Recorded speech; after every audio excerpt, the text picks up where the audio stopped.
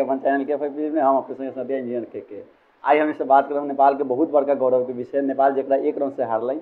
आ हारल कथी कहू तो जीतिए गए लेकिन आई उ टीम सेमीफाइनल में जीत के बहुत बुरा तरीका से दोसर के टीम के फाइनल में प्रवेश कर दिली।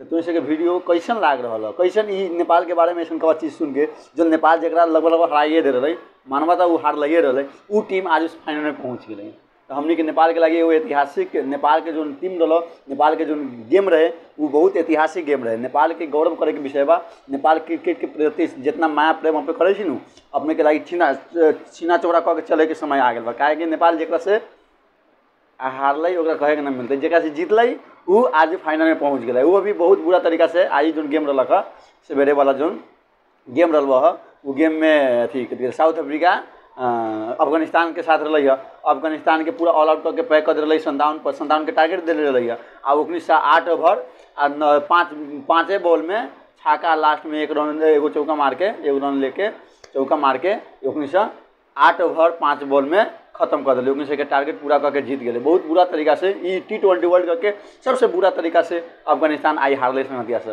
तो अपने सबके कुछ कहे के और नेपाल के बारे में? या हमनी के साउथ अफ्रीका जो जीतले बारे में कुछ कहे तो नीचे कमेंट कर दिया, पूरा बढ़ा जितना निकाल दा।